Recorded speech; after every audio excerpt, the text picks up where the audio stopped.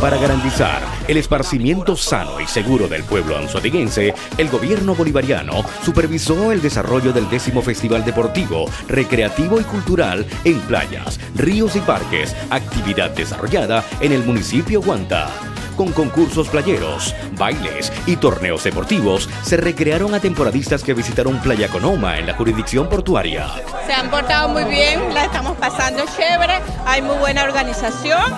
hay mucho también vigilancia, que es lo importante, y nos han entendido muy bien. Siempre vengo para acá, para Conoma, y definitivamente es lo máximo, seguridad full, todo chévere, aquí estamos compartiendo, todo fino. Las gobernaciones, las alcaldías desplegadas con todo el despliegue deportivo, recreativo y cultural, la gente haciendo actividades como, bueno, bailoterapia, juegos recreativos, eh, samba, todas estas actividades que son en, en, pro del beneficio de nuestro pueblo venezolano, de que puedan disfrutar en sana paz, un pueblo que ama la paz, un pueblo amante de la paz, un pueblo amante de la convivencia solidaria. El décimo Festival Deportivo, Recreativo y Cultural demostró organización entre los revolucionarios para garantizar en la región una exitosa temporada Semana Santa 2015.